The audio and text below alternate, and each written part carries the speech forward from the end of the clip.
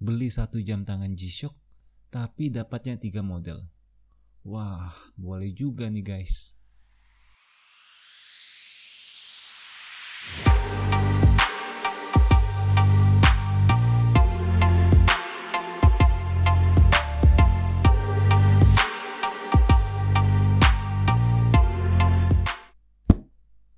Halo semuanya, apa kabar? Selamat datang di channel Indo Watch Review.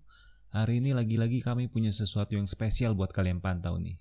Gimana nggak spesial guys? Packagingnya aja udah keren begini bukan?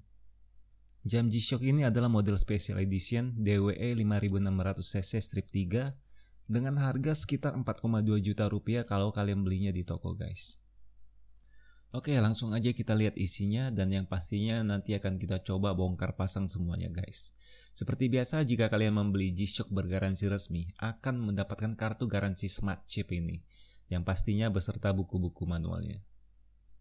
Pada paket ini juga diberikan sebuah obeng kecil untuk membuka pasang bezel beserta petunjuk pemakaiannya. Box ini sendiri menggunakan motif papan sirkuit yang digunakan pada seri 5600. Unik sekali bukan? Oke, inilah isi paket yang akan kalian terima yaitu sebuah bezel cadangan berwarna hitam, Lalu ada dua tali jam cadangan masing-masing yaitu tali karet dan tali kampas. Dan tentu saja sebuah G-Shock DWE 5600 dengan tali resin bermotif papan sirkuit. Jadi secara total kalian akan mendapatkan tiga tali jam untuk model ini. Seperti biasa, nggak ada perbedaan fisik pada model ini jika dibandingkan dengan model 5600 lainnya. Hanya saja untuk DWE 5600cc ini, Keseluruhan bezel dan juga tali resin diberikan motif papan sirkuit. Dan menariknya model ini telah dimodifikasi oleh Casio sehingga bezelnya bisa dibuka pasang secara cepat tanpa menggunakan baut. DWE 5600cc ini memang membawa tema yang unik dengan motif papan sirkuit. Tentu saja nggak semua orang bakal menyukainya, tapi hampir semua seri special edition G-Shock selalu habis terjual, yang membuktikan betapa banyaknya para pecinta G-Shock di tanah air. Kami sendiri pun tidak begitu menyukainya saat melihat fotonya di internet. Namun setelah melakukan unboxing, ternyata desain dan modelnya lebih bagus dari dugaan kami. Perpaduan warna hijau dan emas membuat model ini terkesan tidak norak namun tetap terlihat sangat unik. Kalian pasti bertanya-tanya bagaimana sih cara membongkar pasang bezel dari jam ini bukan? Oke, mari langsung kita coba aja guys. Kita akan mencoba membongkar bezel bermotif papan sirkuit ini lalu memasangkan bezel berwarna hitam ini.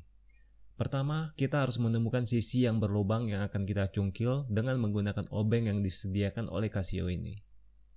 Kami sendiri cukup kaget ternyata gampang banget untuk membuka bezel DWE 5600 ini. Hanya dengan beberapa kali cungkilan, bezel pun terlepas secara keseluruhan. Sepertinya bezel pada jam ini hanya berfungsi sebagai cover bagian atas saja. Sehingga tanpa memakai bezel pun, kami rasa jam ini masih aman jika terkena air. Hanya saja posisi tombol yang terekspos keseluruhan akan menjadi rentan terbentur benda-benda lainnya. Untuk memasang kembali bezel yang terlepas juga sangat gampang guys. Kita tinggal memasang satu sisi yang tidak memiliki lubang cungkilan, lalu dengan bantuan obeng tadi kita tinggal membuka sedikit celah agar bagian tombol masuk ke posisinya. Cukup gampang bukan? Tapi ingat, semakin sering kita bongkar, ada kemungkinan bagian bezel akan semakin longgar. Untuk mengganti bagian tali juga nggak sulit guys, karena Casio juga telah memberikan tuas khusus untuk ini. Cukup dorong bagian tuas tersebut ke dalam dan angkat bagian tali jam agar lepas dari posisinya. Oke, saatnya kita memasang tali jam berwarna hitam agar matching dengan bagian bezel. Dan ini dia setelah kami memasang kembali tali resin hitam, untuk DWE 5600 yang telah berubah wajah menggunakan bezel hitam. Terlihat berbeda bukan? Seperti yang Anda lihat, meskipun telah mengganti bagian bezel dan resin band keseluruhan, namun tidak menghilangkan semua motif papan sirkuit yang ada. Hal ini tentu saja penting sebagai identitas dari jam DWE 5600cc ini. Untuk tali jam yang terakhir ini juga memiliki motif papan sirkuit. Hanya saja tali ini menggunakan bahan kanvas berwarna abu-abu. Tali jam ini sebenarnya tidak 100% berbahan kanvas atau kain. Pada bagian dalam tali ini diberikan material kulit agar terasa lebih nyaman saat digunakan. Begitu juga dengan dua selongsong looper yang menggunakan bahan kulit. Motif papan sirkuit juga tercetak pada bagian penutup belakang atau back cover dari jam DWE 5600cc ini. Dan yang terakhir, Casio juga nggak mau sampai bagian pencahayaan terlihat standar begitu saja. Anda akan melihat motif papan sirkuit juga pada bagian LCD saat menyalakan lampu dari jam ini.